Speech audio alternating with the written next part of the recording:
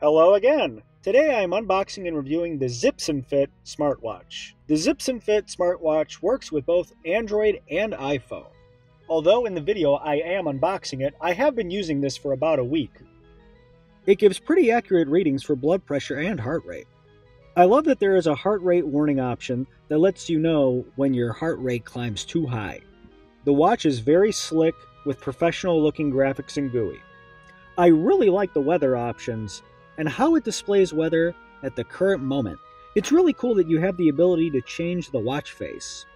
The app has a good selection of options, and you also have the option to use your own custom image. It is very easy to sync with the phone and get things started. It's also extremely easy to figure everything out, even without ever touching the user manual. The smartwatch has the ability to answer or make calls from the watch, a feature most lower end watches don't typically have. The screen is extremely responsive and easy to read and use. ZPPSNFIT can utilize most other new bands on the market. It has a standard 20mm quick release band and can be replaced with other bands of the same type from other companies. However, the default band that it comes with is extremely comfortable, durable, and easy to clean.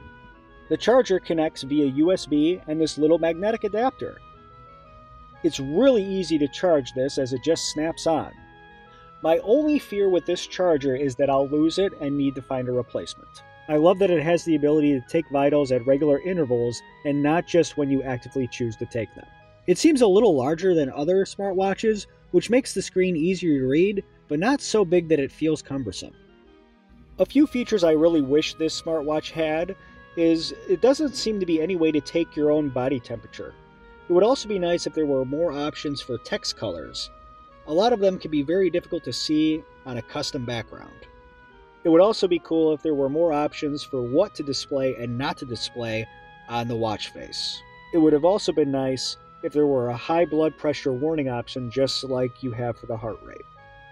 Overall, I really like this smartwatch and I do highly recommend getting it, and I'm probably going to continue to wear it. Until next time, have a great one.